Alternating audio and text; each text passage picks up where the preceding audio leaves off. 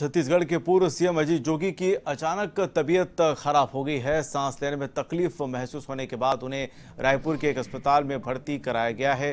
Doctors के मुताबिक उन्हें कार्डियक अरेस्ट हुआ है। हालात को बिगड़ता देख डॉक्टर्स ने उन्हें वेंटिलेटर पर रखा है। अजीत जोगी को रायपुर के श्री नारायण हॉस्पिटल में भर्ती कराया गया है। डॉक्टर्स ने कहा है कि उनकी हालत नाजुक बनी हुई है।